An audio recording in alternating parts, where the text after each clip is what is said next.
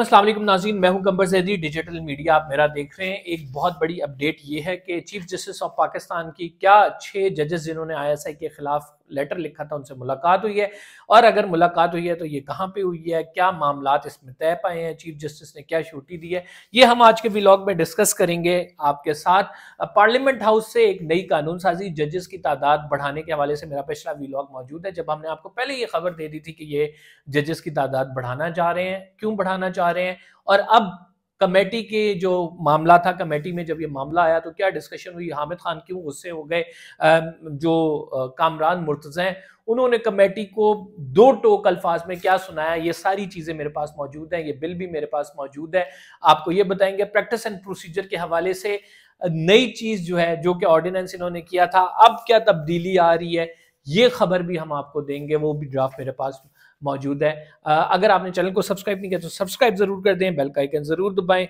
कोशिश होती है क्रेडिबल इंफॉर्मेशन आप तक पहुंचाई जाए। देखें, सबसे पहले कानून साजी पे बात कर लेते हैं, फिर मैं अपनी खबर पे आता हूँ। कानून साजी जो है 25 जजेस को अब लाया जा रहा है। पच्चीस जजेस को लाने की वजूहत क्या है? ये बड़ी वाजे है। ये जो हुकूमत है, छब्बीसवीं आईनी तरमीम के बाद ये समझती है कि मामला इसके कंट्रोल में नहीं आए।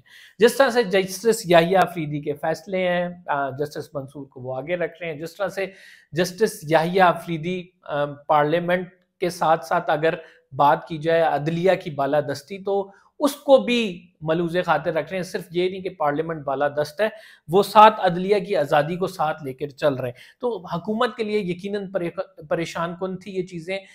पहले सत्ताईसवीं तरमीम की बात हो रही थी लेकिन फिर सत्ताईसवीं तरमीम की जगह नई कानून साजी की बात हुई। और कानून साजी अब जो है वो की जा रही है कि जजेस की तादाद बढ़ाई जाए। मैं जरा आपको बता देता हूँ कि सुप्रीम कोर्ट ऑफ़ पाकिस्तान में इस टाइम जजेस की तादाद दो कैंप है। एक आपको पता है आ, प्रो स्टैब्लिशमेंट है एक एंटी स्टैब्लिशमेंट कहलाता है। वो आठ जजेस जिन्होंने लेटर लिखा था। उसके बाद सूरत हाल क्या बनी है? सत्रह जजेस में से नाजीन मैं आपको जजेस बता देता हूँ जो इस टाइम पे आप ये कह सकते हैं कि हुकूमत के साथ हैं। Justice Musarrat Hilali justice Jamal Khan Mandokhel justice Aminuddin Khan नई मख्तर अखफान जस्टिस सरदार रिटायर्ड तारिक मसूद, ये डॉग जज हैं, और जस्टिस मियाँ मजर आलम खेल साहब। ये वो जजेस हैं एक दो तीन चार पाँच छ सात। सात ऐसे जजेस हैं नाजीन इस time supreme court of Pakistan में जो कि जिनका माइंड सेट ये है कि वो हकूमती जो मौकफ है अक्सर मुख्तलिफ़ केसेस में आ, उसको टो करते नज़र आए उनके अगर फैसले देख लें उनके रिमार्क्स देख लें आ, तो हम ये कह सकते हैं कि ये जो है दूसरे कैंप के जजेस हैं। अब जो एक, दो, तीन, चार, पाँच छ सात के करीब ये जजेस अब सुप्रीम कोर्ट ऑफ़ पाकिस्तान के सत्रह जजेस में से अक्सरियत किसकी है? अक्सरियत जस्टिस मंसूर के साथ जजेस की है। और जस्टिस मंसूर के साथ जो लोग हैं वो ये समझते हैं कि एक तो ये छब्बीसवीं आईनी तरमीम किस तरह हुई है उन्हें तमाम मामला पता है। फिर हुकूमत क्या कुछ कर रही है, ये भी तमाम मामला। फिर उनके जो आठ जजेस हैं, उनके डिसीज़न पे अभी इम्प्लीमेंट नहीं हुआ है, वो भी तमाम मामला पता है। अब जजेस की तादाद 25 इस वजह से की जा रही है कि ये इक्वेशन बैलेंस कर सके। जो जस्टिस मंसूर के साथ मेजॉरिटी है, उसको कट डाउन किया जाए कट टू साइज़ किया जाए। और जब 25 जजेस हो जाएँगे तो इन जजेस के साथ मिलकर वो एक आपको पता है कि उनकी तादाद बढ़ जाएगी। और सुप्रीम कोर्ट में बल्ले के निशान के हवाले से मखसूस नशस्तों के हवाले से या फिर जो रिव्यूज़ पेंडिंग है, उनमें से किसी पे भी फुल कोर्ट बनाया जाता है। मखसूस नशस्तों का रिव्यू आता है। तो हमारी तादाद ज़्यादा हो और सारे जजेस बैठे और सारे जजेस मिलकर जो है वो फैसला करें। अब ये क्यों किया जा रहा है? पच्चीस आपको, ये तो पता लग गया कि पच्चीस इन्होंने बढ़ाने, इसके लिए कानून साजी करें आज मैं आपको ये बता दूँ, वजारत इंसाफ की कमेटी से जो कानून इंसाफ है, उससे ये बिल मंजूर हो गया। सेनेट में इसको पेश कर दिया गया। इस तमाम मामले में जुडिशल कमीशन नाजीन जजेस अपॉइंट करता है। जुडिशल कमीशन में अभी तक भारी अक्सरियत जो है वो हकूमत की है। हुकूमत के मेंबर ज़्यादा हैं तो हकूमत ये चाहती है कि जो है जजेस जो नए लगाए जाए, वो उनकी मर्ज़ी के लगाए जाएँ। इसके लिए आपस में इनकी लड़ाइयाँ भी चल रही हैं कि कमेटी जजेस जुडिशल कमीशन का मेंबर कौन होगा? इसके लिए बिलावल भुट्टो जरदारी साहब जो हैं वो खुद इसके मेंबर बने। तो अब लड़ाई ये है कि जजेस जो हैं वो हमारी मर्ज़ी के लगाए जाएँ। जब वो हमारी मर्ज़ी के आएँगे, किसी को अब्लाइज करके लाएँगे तो वो फैसले भी फिर हमारी मर्ज़ी के देगा। और फिर ये इक्वेशन भी बैलेंस हो जाएगी कि जस्टिस मंसूर के साथ जो अक्सरियत है, उसे कट टू साइज़ किया जाए। कहा यह जा रहा है कि साठ हज़ार तादाद है। मैं आपको जरा बता देता हूँ कि जस्टिस काजी फाइजीसा के दौर में जो फिक्स होती थी कॉजलेस उसमें 12 केसेस लगते थे। जस्टिस याहिया अफरीदी के आते ही 30 केसेस लगने शुरू हो गए। तो वो जो साठ हज़ार का बैकलॉग है जस्टिस याहिया अफरीदी ने बेंचेस बनाए, उनकी लाइव स्ट्रीमिंग की और उन्होंने कहा कि हर जज को मुकदमात अलॉट कर दें, इनकी परफॉर्मेंस को मॉनिटर किया जाएगा और हम ये मुकदमात का, साठ हज़ार मुकदमात का बैकलॉग खत्म करेंगे।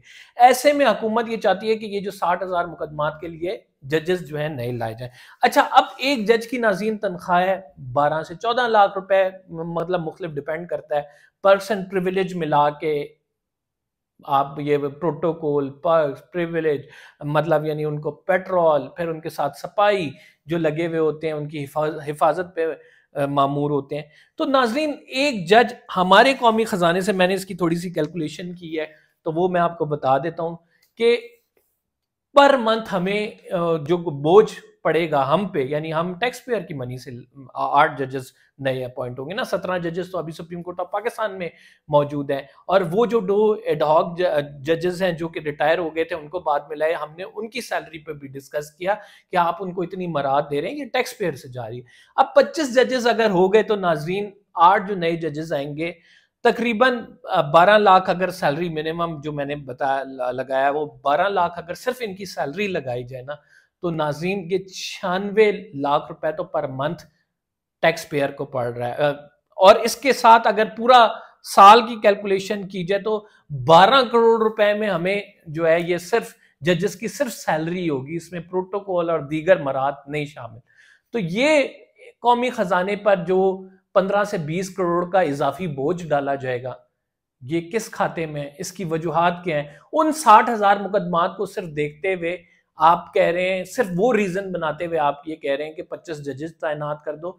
जबको आपको पता नहीं है कि ये कौमी खजाने पे कितना बोझ डलेगा। और इसके साथ नाजीन सिर्फ़ ये नहीं, आपको पता है कि असल गेम क्या है। असल गेम ये है कि ये हुकूमत अपना मनपसंद जजेस की तैनाती और फैसले लेने के लिए एक आम आदमी पर बोझ बढ़ाना चाह रही है और एक आम आदमी का जिबा कर है। अपने दो किलो गोश्त की खातिर ये पूरी भैंस जिबा करने में लगे हुए जजेस की तादाद आज कमेटी में इस पर सख्त रद्द अमल आया। और जो रिमार्क्स मैं आपको बता देता हूँ कि जो हामिद खान साहब की जानब से कहा गया, वो मैं आपको एक दफ़ा पढ़ के सुना देता हूँ। इन्होंने कामरान मुर्तजा साहब हैं, वो कमेटी में कहते हैं, नए चीफ जस्टिस सबकी पसंद के आए हैं। उनको दो तीन माह तो दें, वो दिन में तीन तीस तीस केसेस लगा रहे हैं। वो खुद इस मामले को हैंडल कर लेंगे। साठ हज़ार का बैकलॉग कोई बहुत ज़्यादा नहीं है। वो कम करने की कोशिश करेंगे और इसके लिए ज़रूरी नहीं है पच्चीस जजेस तैनात किए जाए। तो उनको थोड़ा टाइम दें। कामरान मुर्तजा ने फिर कहा कि ये सारा मेला नए चीफ जस्टिस को लाने के लिए ही था और हम एक इंतहाई गरीब मुल्क हैं जो कि जजेस पर, फिर भी हम जजेस पर बहुत ज़्यादा खर्चते हैं। सेनेटर अब्दुल कादिर वहाँ पे मौजूद थे। उन्होंने कहा कि कॉमन सेंस की बात है, जब काम बढ़ता है तो जजेस भी बढ़ाने पड़ते हैं। कायमा कमेटी बरए कानून इंसाफ में छब्बीसवीं आईनी तरमीम का भी नाजीन आया तस्करा आया जिस पर हामिद खान साहब जो कि पी टी आई के हैं वो बोले कि छब्बीसवीं आईनी तरमीम ने अदलिया को बहुत नुकसान पहुँचाया है। और जब किसी मुल्क को नुकसान पहुंचाना चाहते हैं, जजेस की तादाद बढ़ा दी जाती है, क्योंकि मर्ज़ी के फैसले नहीं आ रहे होते। तो यही वो बात है जो मैं कर रहा हूँ, हामिद खान साहब ने इसकी तोसी कर दी कि मर्ज़ी के फैसलों के लिए आप ये करें। आप बताएँ कि आपकी हुकूमत क्या करना चाह रही है और सुप्रीम कोर्ट में इस वजह, इस वक्त जजेस के दो ग्रुप मौजूद हैं और उन दो ग्रुप्स में जो है वो आप अपने ग्रुप के अरकान ज़्यादा करने के लिए करें। ये तमाम चीज़ें हुई जो कि ऑन रिकॉर्ड हैं। इसके बावजूद कानून साजी लाई गई, उसको पार्लियामेंट कमेटी से चूँकि अक्सरियत थी, उसे मंजूर कराया गया और अब सेनेट में पेश कर दिया एक और जो प्रैक्टिस एंड प्रोसीजर एक्ट है नाजीन, उस प्रैक्टिस एंड प्रोसीजर एक्ट के हवाले से एक ऑर्डिनेंस आया था। उस ऑर्डिनेंस में यह कहा गया था कि चीफ जस्टिस ऑफ़ पाकिस्तान जो है, वो तीसरा जज जो है अपनी मर्ज़ी का तैनात कर सकते हैं। अभी प्रैक्टिस एंड प्रोसीजर को देखें, justice Yahya Faridi justice Mansoor Ali Shah, justice Munib Akhtar. यानी दो जजेस जस्टिस मुनीब और जस्टिस मंसूर हमें सेम पेज पे नज़र आ रहे थे। अब इन्होंने उस ऑर्डिनेंस को, उसका बकायदा बिल ला रहे हैं और उस ऑर्डिनेंस को हमेशा के लिए इंप्लीमेंट करना चाहते हैं कि चीफ जस्टिस तीसरे किसी मेंबर को अपनी मर्ज़ी से कर देगा। ज़रूरी नहीं है जस्टिस मुनीब हो या सीनियोरिटी लेवल वाला हो, वो किसी को भी अपनी मर्ज़ी से तैनात कर सकता है। और इस कमेटी का हिस्सा बना सकता है और वो जब कमेटी का हिस्सा होगा तो वो अपनी मर्ज़ी से केस भी लगा सकता है। अच्छा इसी पावर को जस्टिस काजी फाइजीसा ने सरेंडर किया था और अनफॉर्चुनेटली उन्हीं के आखिरी टेन्योर में ये सारी पावर्स उन्होंने दोबारा ले ली। मतलब यानी आखिरी जब टाइम पीरियड उनका चल रहा था। तो अब हुकूमत इसको बाकायदा लॉ बनाने जा रही है। अब ये कमेटी में जाएगा, कमेटी में इस पर डिस्कशन होगी, कुछ एडिशन सब्सट्रक्शन हो सकती है। लेकिन हुकूमत ये चाहती है कि ये ऑर्डिनेंस से चार महीने बाद हटे तो ऑटोमेटिकली नया कानून इंप्लीमेंट हो जाए। वो नया कानून बना हुआ होगा, जिसके तहत जस्टिस या फ्रीदी तीसरे रुकन को बदल सकते हैं। लेकिन अभी सुप्रीम कोर्ट ऑफ़ पाकिस्तान में क्या जहनीत प्रिवेल कर रही है? सुप्रीम कोर्ट ऑफ़ पाकिस्तान में इस टाइम ये जहनीत प्रिवेल कर रही है कि जो जस्टिस याहिया अफरीदी हैं, वो कह रहे हैं कि जो सीनियोरिटी में पहले नंबर पे आ रहे हैं, जो खलीज है, उसको कम करना है, उन्हीं को लाया जाएगा और उन्हीं से फैसले कराए जाएँगे।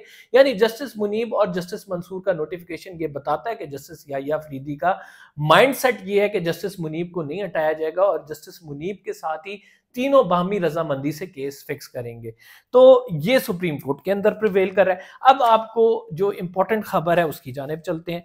आपको पता है कि छह जजेस ने लेटर लिखा था, उसके मामले को जस्टिस काजी फाइजीसा ने दबाया। सिर्फ़ एक दो समाते हुई उनको लाइव नशरियात की जा रही थी, जिसमें जस्टिस मंसूर उसमें कह रहे थे कि हम रेत में सर दबा के नहीं बैठ सकते, हमने एक फायर वॉल क्रिएट करना है कि अगर अदलिया में इंटरवेंशन हो, कोई मुदाखलत हो तो हाँ अगर कोई जज उठ के कहता है सिस्टम के खिलाफ आवाज़ उठाता है तो हाई कोर्ट भी उसके साथ स्टैंड करे सुप्रीम कोर्ट भी स्टैंड करे और यही जस्टिस मंसूर का जो है जुर्म बना, फिर उनको चीफ जस्टिस नहीं बनाया गया, क्योंकि वो ये आइडिया पहले दे चुके थे। अब खबरें ये हैं कि चीफ जस्टिस ऑफ़ पाकिस्तान ने जब अपना ओथ लिया तो छह जजेस से मुलाकात हुई। एक तो डिनर था रात में, उस दिन ना तो डिनर पे चीफ जस्टिस ऑफ़ पाकिस्तान ने हाई कोर्ट के जो जजेस हैं, उनसे मुलाकात की, जिसमें दीगर जजेस भी थे। तो हाई कोर्ट के जजेस से मुलाकात में हमारी खबरें ये हैं कि चीफ जस्टिस ऑफ़ पाकिस्तान ने दो चीज़ों की अश्योरिटी दी। वो कौन कौन सी हैं? चीफ जस्टिस ऑफ़ पाकिस्तान ने पहले ये कहा कि आपके काम में मुदाखलत नहीं होगी। एक तो ना सुप्रीम कोर्ट ऑफ़ पाकिस्तान की तरफ़ से मुदाखलत होगी, यानी आप इंडिपेंडेंट जजेस हैं, आप अपने फैसले करते हैं, हम कोई डायरेक्शन चाहते हैं कि नहीं दें आपको। और इसका अमली मुजाहरा आज एक चीफ जस्टिस ने केस की समात के दौरान भी किया। वकील साहब ने उन्हें कहा कि ये ऑब्जर्वेशन लिख दें कि ये केस दोबारा से चले और इस केस का जो है इसमें जो आपकी ऑब्जर्वेशन है वो बड़ी मानी खेज होगी कि ये मुकदमा मुतल फोरम पे चलाया जाए। जस्टिस याहिया अफरीदी ने कहा कि आप यहाँ से हमसे ऑब्जर्वेशन लिखवा लेते हैं, फिर 18 18 साल जो है मुकदमा लटका रहता है, हम नहीं लिखेंगे और उन्होंने माजत कर ली जब तो जस्टिस याहिया अफरीदी ने एक मैसेज जो मातहत अदलिया को दिया है मतलब यानी जो हाई कोर्ट है, जो सिविल कोर्ट है, कि सुप्रीम कोर्ट ऑफ़ पाकिस्तान आपके किसी मैटर में कोई डायरेक्शन नहीं देगी, कोई मुदाखलत नहीं करेगी। दूसरी जानब, जस्टिस याहिया अफरीदी ने यह भी उनको इंश्योर कराया कि कहीं और से अगर मुदाखलत होती है। तो हम, हमारे लिए वो भी पॉसिबल नहीं है।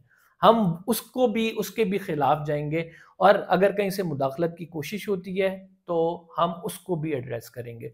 तो ये जजेस को, जो हाई कोर्ट के जजेस हैं, उनसे जब बातचीत हुई तो उनको ये इंश्योर कराया गया कि उनके टेन्योर में ऐसा पॉसिबल नहीं हो सकता।